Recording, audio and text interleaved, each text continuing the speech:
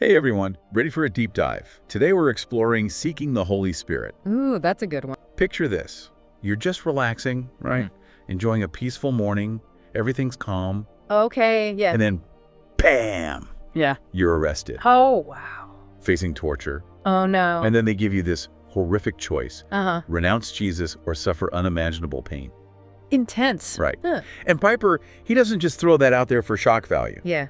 He uses it to get us thinking. Like, Huh? how do we prepare ourselves spiritually for trials we can't even fathom? That's a good question. It's like, how do we train for a spiritual marathon when we have no idea what the course is going to be like? Uh, makes sense. That's where the Holy Spirit comes in. Piper points us to this passage, 1 Peter 4.12-14. It talks about how the Spirit empowers us during tough times. right. You know, like how he gives us the strength to endure. Uh-huh. And he uses the story of Corrie ten Boom. Have you heard of her? Yeah, she helped Jewish people escape the Nazis, right? Exactly. And she ended up in a concentration camp herself. Wow. But before all that, her father gave her this amazing advice. He said, God's strength will come just in time. Wow, that's powerful. Chills. Right. It's like a promise that we're never truly alone in our struggles. Yeah. And Piper's point is that this promise applies to all kinds of suffering, not just like persecution. Oh, okay. So we're talking illness, grief, job loss, relationship struggles, you know, the everyday stuff, too. anything that tests our faith. yeah, that makes sense. And to help us understand how the Spirit works in us during these trials, Piper lays out seven key ways. Seven. Okay, we might need to break this down. Yeah, for sure. We could probably spend a whole deep dive on each one. Probably. But let's focus on a couple that really jump out. Sounds good. Which ones are you thinking? Well, the idea of the Spirit bringing truth to mind during Mhm. trials, I think that's huge. Yeah, I can see that. It's like he cuts through all the confusion and doubt. Mm-hmm. And suddenly you remember a specific verse or a time when God came through for you. The light bulb moment. Exactly. Yeah. Or maybe it's just a sudden sense of clarity. Mhm. You know, like, okay, this is what I need to do. Okay. It's like having a personal GPS guiding you through a fog. I like that. So, what about you? What's standing out to you? Hmm. Well, this one's a little more, I don't know, complex. But Piper talks about the Spirit helping us experience glory. Experience glory. Yeah, he calls the Holy Spirit the Spirit of glory, which means he can actually allow us to, like, get a taste of heaven. Whoa, hold on. So, even when we're going through something terrible, the Holy Spirit can help us see beyond that. Exactly. Like, Yeah. it's not that the pain disappears, but it's like you're suddenly standing on higher ground I see. and you can see things from a different angle. That's amazing.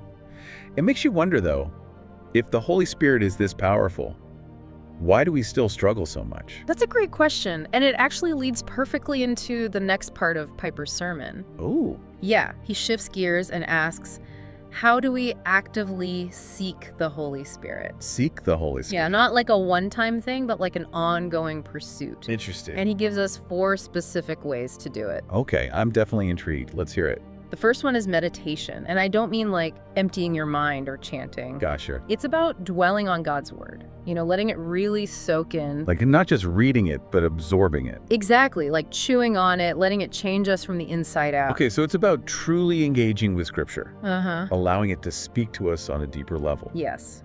And that leads us to belief.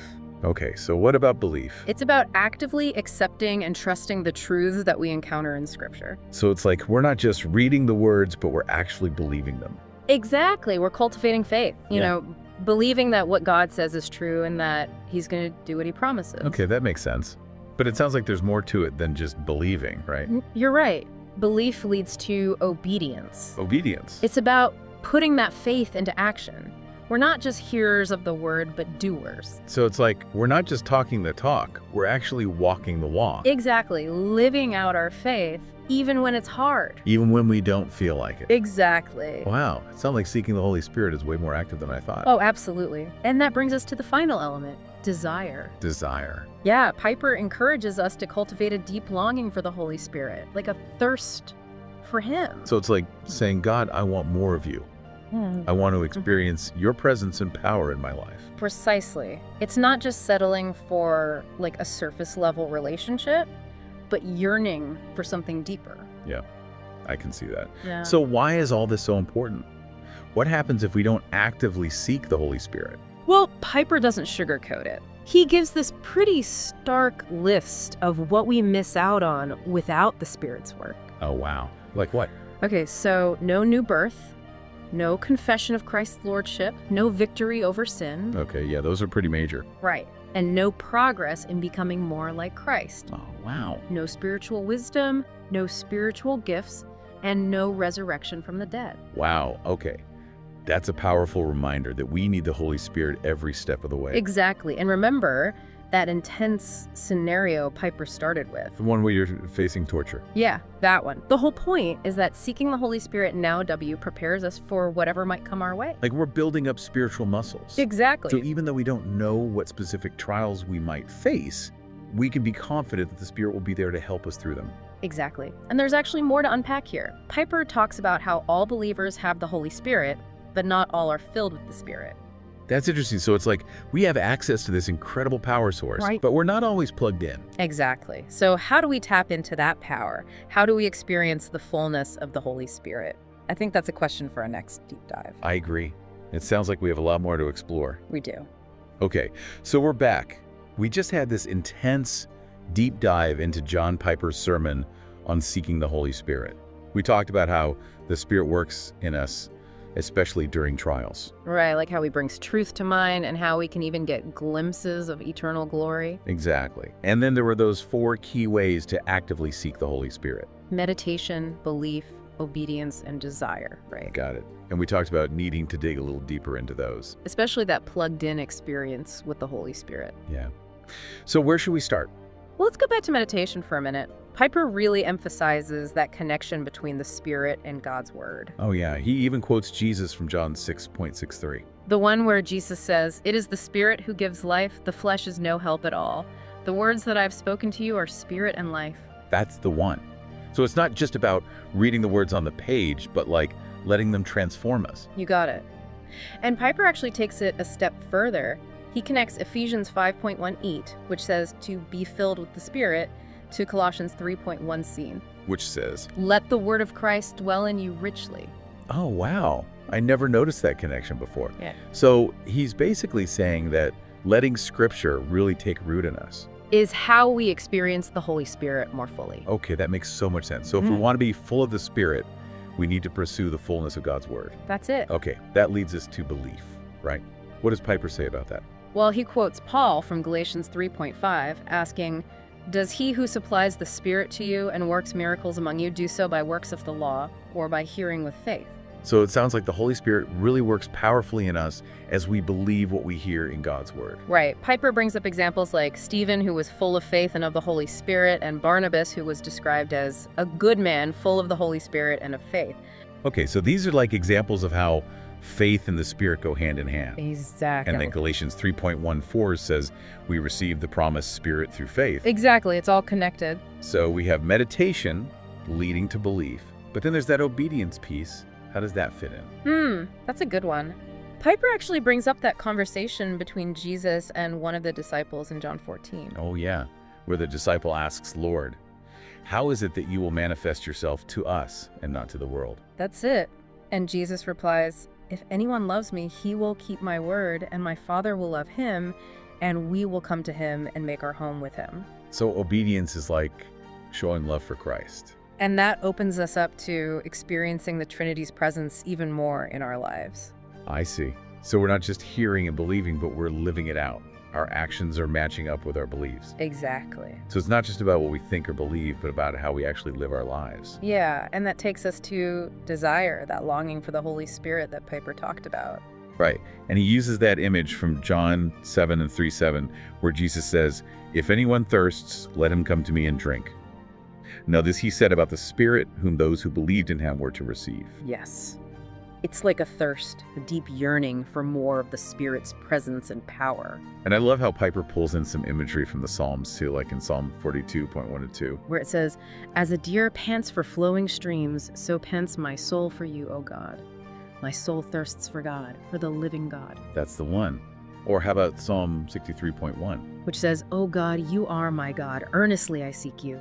My soul thirsts for you. My flesh faints for you, as in a dry and weary land where there is no water. So powerful. Those verses paint such a vivid picture of just like that deep desire for God. Yeah, it's not passive. It's like this wholehearted pursuit. Yeah. But what about people who might say, hold on, don't all believers already have the Holy Spirit? Oh, Piper definitely addresses that. He says, Yes, all believers have the Holy Spirit just like we have faith. But then he adds, What? and Jesus says, Oh, you of little faith. Ooh, good point.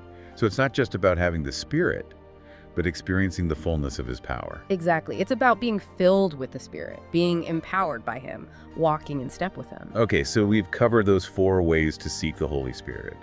And it seems like this is about going deeper and experiencing more of God's presence and power in our lives. Right. But before we move on, can we circle back to something we talked about earlier? Sure. What's that? That idea that the Holy Spirit can help us experience glimpses of eternal glory even while we're suffering. Yeah, I think that's such a powerful concept. Me too. It's just hard to grasp sometimes. What does that actually look like in our lives? Well, I think Piper's point is that the Holy Spirit can shift our perspective. So it's not about denying the pain or pretending everything's okay, but it's about, Acknowledging the reality of suffering, but also remembering that this world isn't all there is. yes. It's like when you're standing on a mountaintop and you can see for miles in every direction. Oh, I like that. Your problems might still be there, but they seem smaller, less significant. It's like the Holy Spirit's lifting us up, giving us a better view God's perspective, and our fears and worries. Start to fade in comparison to the vastness of God's love Mm. and the eternal glory that awaits us. Exactly. And that perspective shift, it can have a huge impact on how we live. Totally. Yeah. When we focus on the eternal, our priorities start to change. Yeah, we care less about the fleeting stuff of this world and more about Love, joy, peace, kindness, faithfulness, all those things that really matter, the things that reflect God's character. that's it. And that's where the Holy Spirit helps us. He empowers us to live in a way that reflects the glory we've seen. To love others even when it's hard, to forgive freely, to keep going through challenges. To shine God's light even when the world feels dark. So it's not about escaping reality, it's about letting the Holy Spirit transform us from the inside out. Yeah, to become more like Jesus. And that's something we can only do through the power of the Holy Spirit. that's right. This is so much bigger than just like a theological concept. It's about experiencing the presence of God. Right. And I love how Piper brings it all back around to being prepared for trials. Right. Like that intense scenario he started with. Facing persecution and having to choose between denying Christ or suffering. Yeah. The point is that seeking the Holy Spirit, now, now, W, prepares us for whatever might come our way. Because we never know what specific trials we might face. But we can be sure that the Spirit will be there to help us. And that brings us back to those seven ways the Holy Spirit works in us during trials. We talked about truth and experiencing glory. But there are five more we haven't even touched on. I know, we could talk for another hour about them. I think we need another deep dive. Sounds good to me. Let's keep going. Okay, so we're back and ready to keep going with this whole idea of seeking the Holy Spirit. Yeah, it feels like we could talk about this forever. I know, we've covered so much ground already, but it's like we're just getting started. It's true. There's so much to unpack. It's like peeling back layers of an onion. And speaking of going deeper, remember those seven ways the Holy Spirit works in us, especially during trials. Oh, yeah. We talked about truth and experiencing glory, but there are five more, right? Five more. It's like we have this whole spiritual toolbox Ah. full of different ways the Spirit helps us navigate those tough times. I like that. A spiritual toolbox. So, which tool are we picking up next? Well, let's talk about sustaining love. Piper talks about this as the Spirit helping us experience, like, the beauty and power and love of Christ so deeply that he becomes our like our ultimate satisfaction. It's like in those moments when you feel God's presence so strongly that nothing else matters. Exactly. The pain might still be there, but it's like something bigger overshadows it. The Holy Spirit helps us focus on what really matters, even when everything feels like it's falling apart. Yeah, he reminds us that God's with us. He loves us. Yeah. And he's never going to leave us. It's like that image of having an anchor in the middle of a storm, something to hold on to. Exactly. And this love, it's not just a passive thing either. It gives us the strength to love others, Even when they're hard to love, especially then. And it gives us the strength to forgive, even when we've been hurt. even when we've been hurt deeply. So it's like this outward expression of the love we're receiving from God. Exactly. Okay, what's next in our toolbox? Well, this one's important for those times when we're doubting ourselves. It's overcoming doubts. Okay. Piper describes this as the Spirit assuring us of our adoption as God's children. Like being welcomed into a loving family, knowing you're cherished no matter what. Yeah, that kind of unshakable confidence, even when the world is throwing its worst at us. It's like having an inner strength that nothing can touch. Exactly. So what else do we have? This next one might seem a little surprising. It's the Spirit speaking for Christ. Wait, so even in the midst of our trials, we can be witnesses for Christ. That's Piper's point.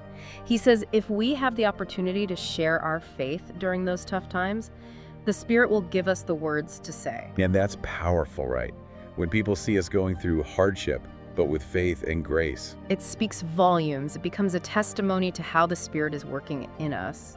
It's like our lives become living proof of God's faithfulness. Exactly. Okay, so what's the last one? What's the last tool in our spiritual toolbox? This one's pretty amazing. It's the Spirit giving Himself. Giving himself? Yeah, Piper describes it as like experiencing the Father's care, the Son's love, and the Spirit's fellowship all at once.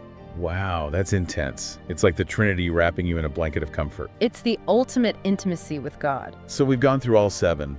But honestly, sometimes this all feels a little hard to grasp. Like, how do we actually experience this stuff in our everyday lives? That's a good point. It's easy to get caught up in the busyness of life and lose sight of the Spirit's work. That's why those four ways of seeking the Holy Spirit that we talked about are so important. Right. Meditation, belief, obedience, and desire. Those are like our spiritual practices, intentional ways to cultivate our relationship with the Spirit. So we're not just waiting for a miracle to happen, we're actively pursuing the Spirit. Exactly. It's about consistently spending time in God's Word, letting it soak in. It's about believing His promises, obeying His commands, and cultivating a deep desire for more of Him. So as we wrap up this deep dive, what's the one thing you hope our listeners take away? What's the key message? I think the most important thing is that seeking the Holy Spirit is an active pursuit. It's a journey. It's about drawing closer to God, opening ourselves up to His presence and power. And it's a journey that's available to every single one of us. And remember, we don't have to figure it all out on our own. The Holy Spirit is our helper, Our guide, our comforter, He's with us every step of the way. leading us deeper into God's love. So if you're feeling lost or discouraged or overwhelmed, remember that the Holy Spirit is there. Waiting to fill you with strength and peace. And to close, I want to leave you with the same question Piper posed in his sermon. If the Holy Spirit empowers us to face any trial, what's holding you back from seeking Him fully today? It's something worth thinking about. Thanks for joining us on this deep dive, everyone.